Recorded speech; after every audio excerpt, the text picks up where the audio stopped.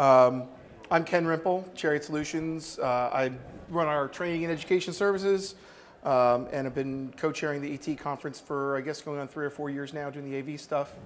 Um, so we're here to talk about Spring on the back end and uh, JavaScript on the front end, also known as the mullet, right? Because you got the party in the, in the back and business in the front.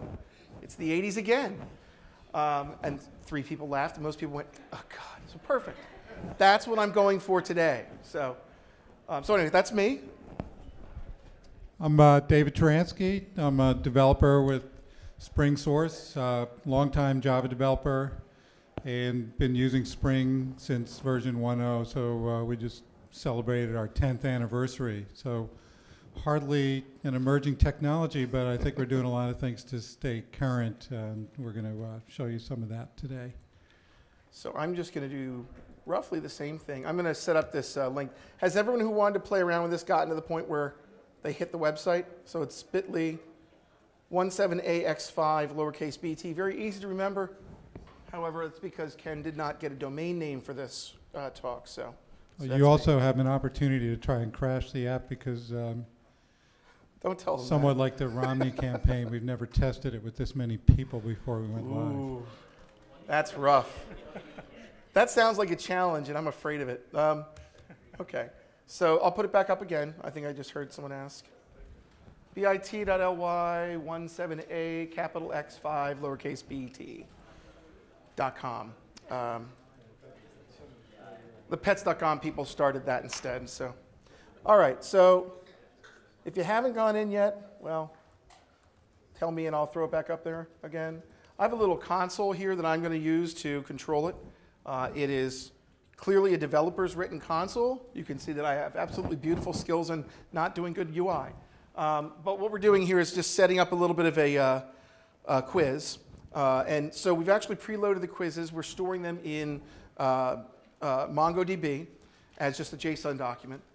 And uh, you know, we use actually, it's funny, we've got a whole bunch of languages here. So we use Groovy to parse and load them in uh, in JSON format throw them into the database. And then what we're doing is just we're going to be using AngularJS on the front end, both to control the kind of the state of the application on the middle tier, which is Spring, and also to play the game. So what I'm going to do here is I'm going to, I'm going to call this the uh, Mullet Talk. And this will be a JavaScript quiz uh, for people who are Spring developers with JavaScript. So we'll hit Start Game. Um, what should happen is when you go and you register your nickname, so we can call this anything. So I'm going to call this Rimple Guy. Hit Join Quizzo.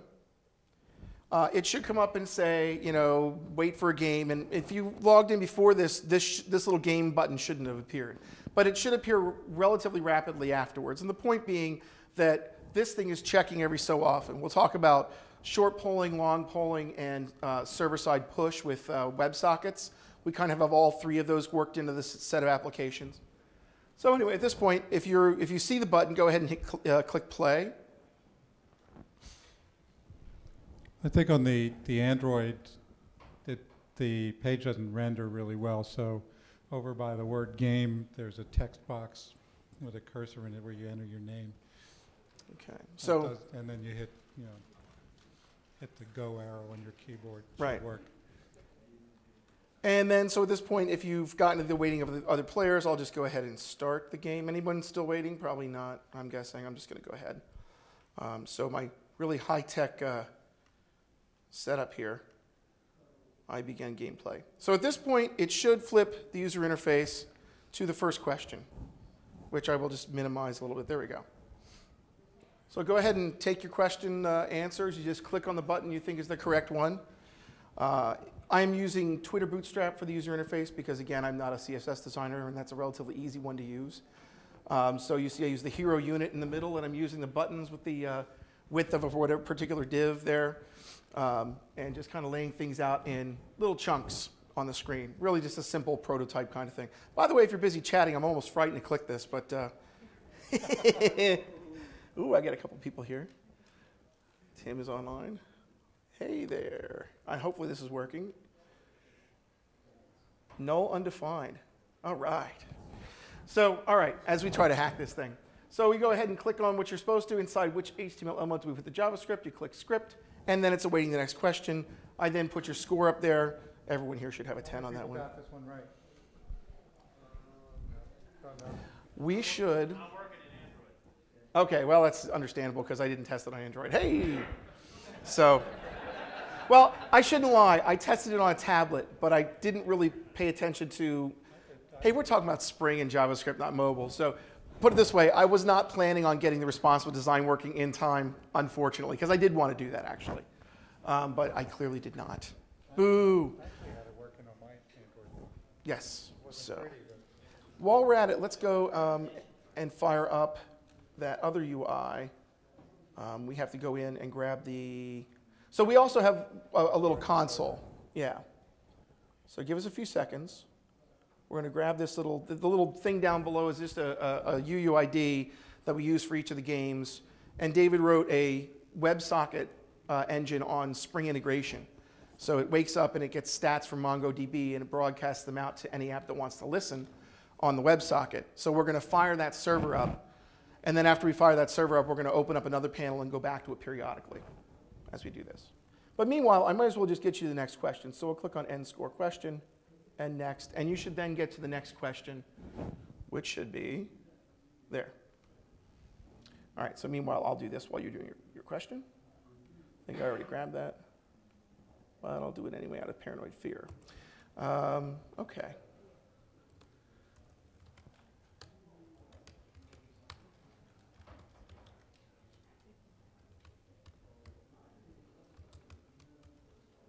All right, then we do the Maven.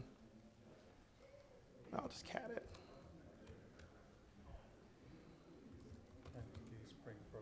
Hold on a second. Yeah. Hold on one second here. This will actually turn into a real talk in a few seconds. Um, but we're just trying to show you like a, a simple example here to get started with. Maven exec. I just keep typing wrong. M V N E X E C. Spring profile equals Default. default. Game ID equals doink.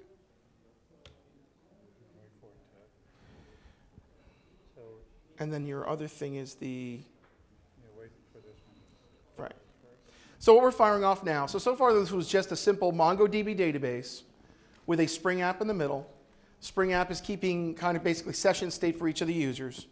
And then it's serving up just a, a- a web application with Spring MVC. The web application is serving up uh, just basically static JavaScript files.